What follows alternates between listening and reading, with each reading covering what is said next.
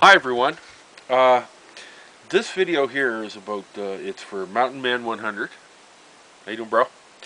Anyway, uh, uh, it's uh, how to clean a bastard file, or how to clean a file in general.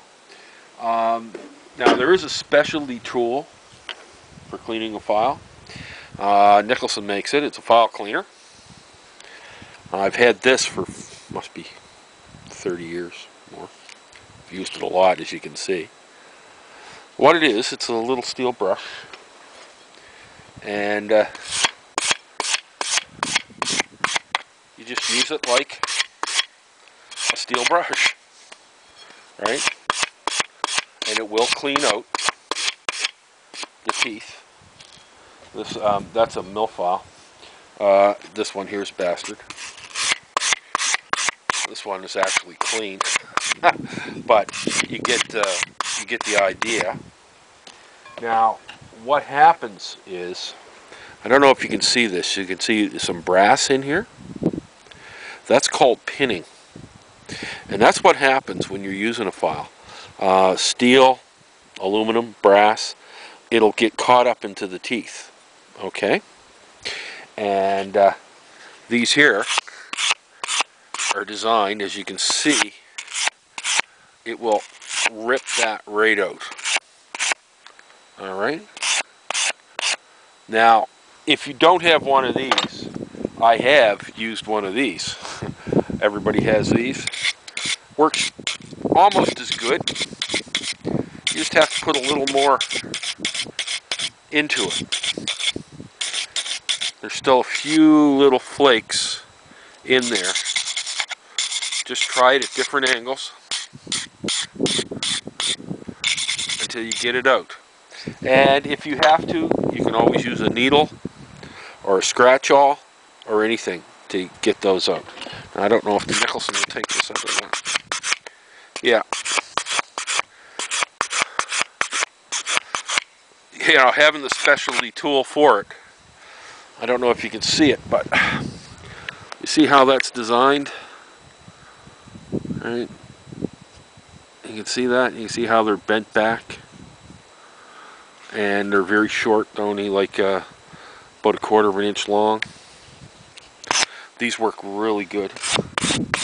And I mean, you buy one, you've got it forever.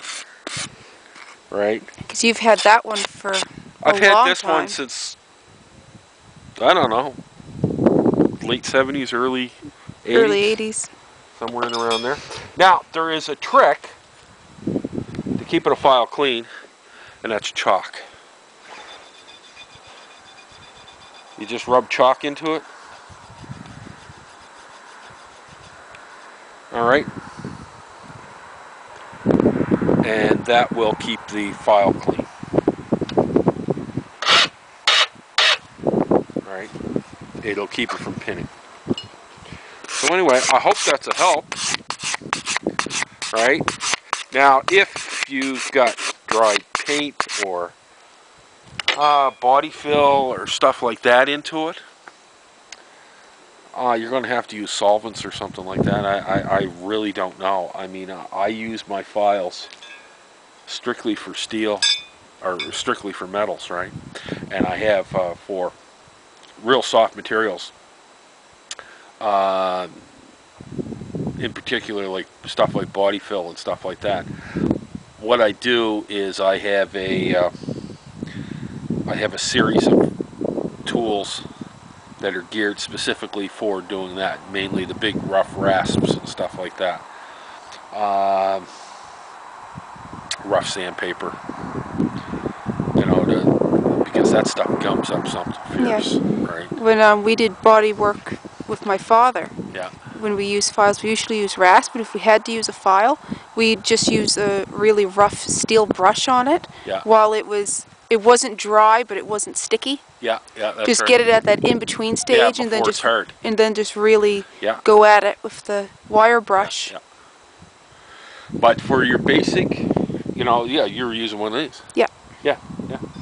But for your basic uh, file cleaning, this will work, right? And like I said, sometimes you get a piece of pinning You'll get a piece of steel or a piece of aluminum in there, and it'll really stick. Aluminum's the worst. Uh, aluminum screws up uh, drill bits. Right, aluminum will stick to it. I mean, it's just. I, know, I like aluminum, but it's easy to cut and everything like that. But it'll it'll clog your files up really bad. But anyway, I hope that's a help. Till the next time.